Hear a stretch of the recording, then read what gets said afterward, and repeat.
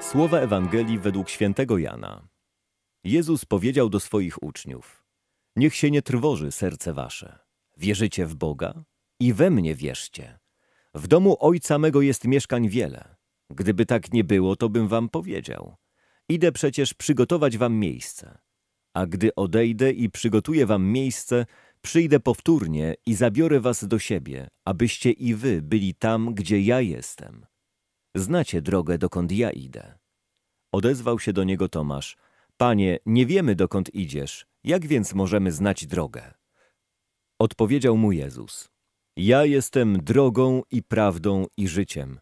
Nikt nie przychodzi do Ojca inaczej, jak tylko przeze mnie. Ja jestem drogą i prawdą i życiem, mówi Jezus. Nie łudźmy się, nie ma innej drogi do Boga, jak tylko w Jezusie. W Jezusie mamy bowiem przystęp do Ojca. On jest jedynym pośrednikiem między Bogiem a ludźmi. On jest drogą wiodącą do poznania Boga. Nie istnieje żadna inna alternatywna ścieżka. Kto odrzuca Chrystusa, odrzuca zbawienie. Jezus jest prawdą, apokaliptycznym Amen, świadkiem wiernym i prawdomównym, tym, który nie tylko zaświadcza o prawdzie, ale sam nią jest. Prawda, podobnie jak miłość, są imionami własnymi Boga. Jezus jest Bogiem prawdziwym z Boga prawdziwego, jak mówimy w wyznaniu wiary. Całkowicie zjednoczony w komunii z Ojcem, podobny do Ojca w każdym calu.